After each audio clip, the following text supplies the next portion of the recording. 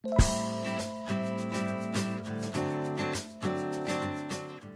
ม่เครียดยอมรับรู้มาตลอดแต่ลั่นไม่เกี่ยวกับพี่ค่ะ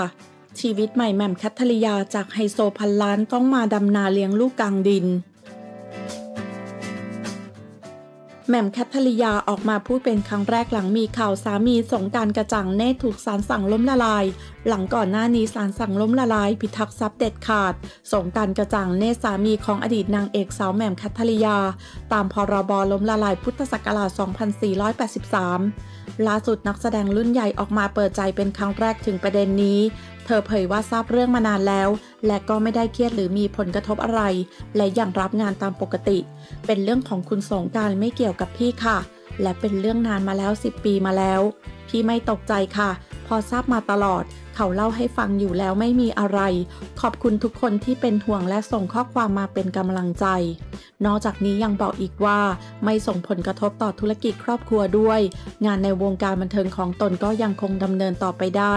จะมีนิดหน่อยก็เห็นจะเกิดจากสถานการณ์โควิด -19 มากกว่า ทำให้รีสอร์ทที่จังหวัดตังต้องปิดตัวไปถึง 6 เดือน แต่ก็จะเปิดในช่วงต้นเดือนตุลาคมนี้ ส่วนตัวแล้วช่วงที่เกิดขึ้นก็ได้มีการให้กำลังใจ พยายามอยู่ด้วยกันดูแลครอบครัว สร้างความอบอุ่นมาโดยตลอด ไม่สร้างปัญหา ไม่นำเรื่องหนักใจมาเพิ่ม แต่ก็ยอมรับในช่วงที่ผ่านมาตนยุ่งมาก เพราะพัฒนาการของลูกเริ่มโตขึ้น ต้องดูแลลูก บวกกับลูกเองก็ไม่ค่อยให้ความร่วมมือในการถ่ายรูป จึงไม่ค่อยมีรูปลงในไอจด้วย เหตุผลนี้อาจทำให้แฟนคลับหลายคนสงสัยและเป็นห่วงว่าตนจะเครียด ซึ่งจริง ๆ แล้วไม่เครียดเลยนอกจากนี้อัปเดตควบคู่ไปกับพัฒนาการความหล่อของลูกชายว่า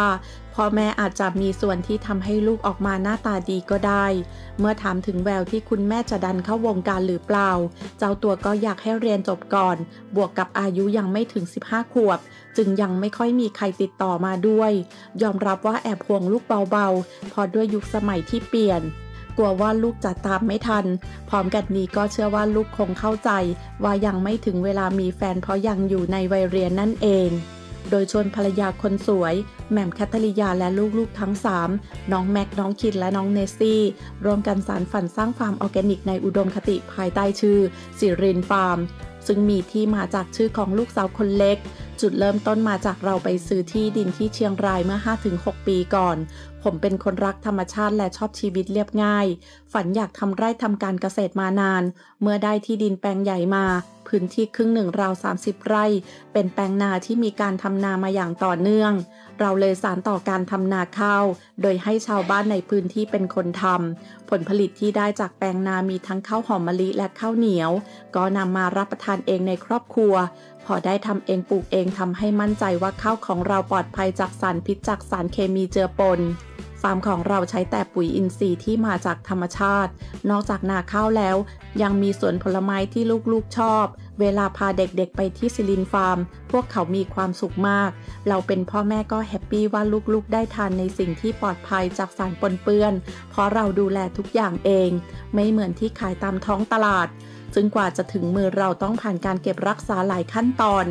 ในซิลินฟาร์มยังมีปศุสัตว์เล็ก ๆ เลี้ยงไก่วัวและหมู เริ่มจากการไปซื้อวัวเพื่อไถ่ชีวิตพอสงสารเลยเอามาเลี้ยงที่ฟาร์ม โดยตัวแรกเป็นแม่วัวท้องแก่ จากนั้นก็ซื้อเพิ่มเป็นคู่แม่ลูกเพื่อนำมาขยายพันธุ์ นอกจากนี้ยังมีวัวพันธุ์แองกัสนำเข้าจากต่างประเทศ คุณสงการบอกเล่าถึงความสุขแท้จริง ที่เพิ่งค้นพบด้วยตาเป็นประกาย ฟาร์มในฝันของครอบครัวกระจ่างเนตร วาดภาพไว้ว่าต้องเป็นยังไง ฟาร์มนี้เกิดจากความรักความมุ่งมั่นที่จะเลี้ยงสัตว์ปลูกข้าวและพัฒนาการเกษตรที่ไร้สารปนเปื้อน เพื่อให้ครอบครัวเราและคนไทยได้มีสุขภาพดี